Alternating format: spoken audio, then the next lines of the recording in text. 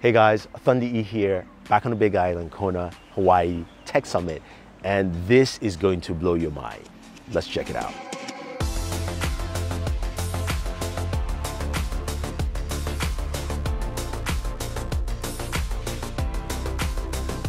All right guys, I got to play with the Snapdragon G3X gaming platform. Yes, it looks like a mobile Android gaming platform and this thing is legit.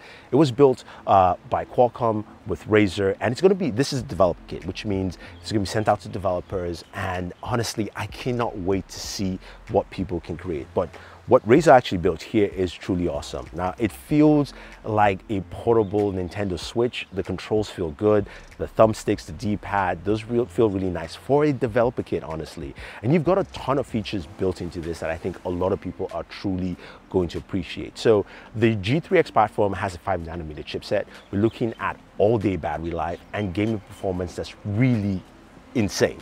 Now, you can play your Android games, that's one. You can stream your PC games directly to this, so you can use any of your services, whether um, for, I saw Parsec on there, you can use Steam, whatever you want to do, you can stream it directly to it. It's got remappable controls as well uh, on there, and Oh, honestly, and plus you've got cloud gaming support. So how did it actually feel using this? So I played a bunch of games on there.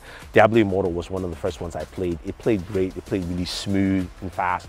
And I like the fact that the controls felt really native on there. I wasn't even sure if it was native or remap, but I didn't have any issues with it whatsoever. Then I played some Final Fantasy and that also played really well. I know that was remapped and the controls felt really, really good. Honestly, as a gamer, this is going to be impressive. This is going to be a gaming powerhouse. You're going to see a lot of performance on this. Now, in terms of uh, what it packs in, one of the things I like is that it's got Snapdragon sound, which means you're going to get lossless audio, aptX audio, aptX AG, all those aptX features built in it. But what does that mean for us? It means that, look, we're going to hear footsteps clearly. You're going to hear those gunshots well. You're going to hear things around in your game effectively and you're gonna play well. Plus, you can listen to music and enjoy that well on this system. Now, the menu screen that you see there, it's, look, again, this is a developer kit build, but you can see what they're going for, a very streamlined look, being able to access um, everything and the games you want right there in front of you. Uh, the display supports up to 144 Hertz, so you choose to have 144 Hertz as a developer or you're building a kit like this, it also does that. It's got, you know, um, fast charging up to 120 20 watts. Again, that is something that would be nice for a system like this. Now, they promise all day battery life. And in my use case with this developer kit, I played for about two hours. I probably lost about 10, maybe 15%.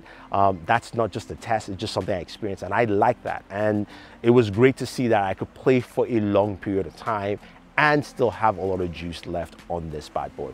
Now, it also supports uh, Wi-Fi 6E, which means you've got great connectivity and you can actually access the games you want to play. So if you're using game streaming services like Xbox Game Pass, you've got just the ability to play and enjoy your games to the fullest, which is the thing that I love to see.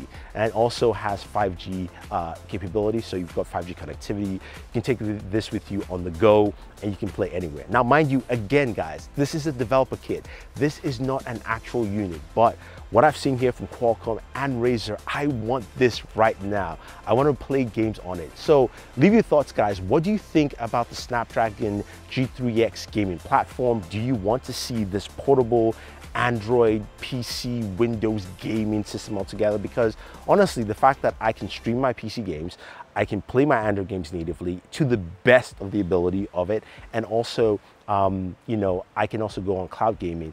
To me, that's going to be truly awesome. And I can't wait to see what uh, OEMs build and also even what Razer releases if they're going to actually be doing this as well. So leave your thoughts down below. Don't forget to like, share, subscribe, and always enjoy your entertainment.